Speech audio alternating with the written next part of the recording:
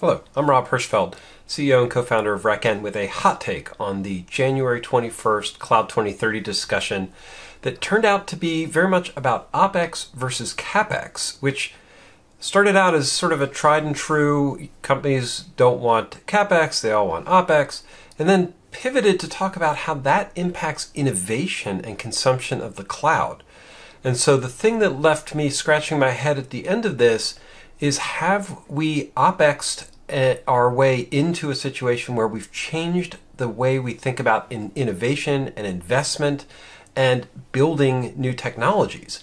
If the innovation cycle is driven by OpEx and easy consumption and cloud based models where there's very minimal infrastructure to purchase and executing on that becomes a operational cost rather than the capital investment, if we've really altered how we think about core technologies going forward, And that has a huge impact over the next 10 years.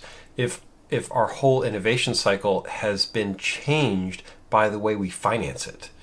Uh, along those lines, though, we also opened up ideas that maybe this is a pendulum and will swing backwards, and that you know capital investments are the right way to look at long-term gains. And so there's a lot of interesting questions opened up in this discussion. I hope you'll check out the whole thing. We started with some ecosystem discussions. That's at the beginning, and the CapEx OpEx really comes in in the last half of the discussion. So please check it out. Uh, this is Rob Hirschfeld. Enjoy the 2030.cloud. Thanks.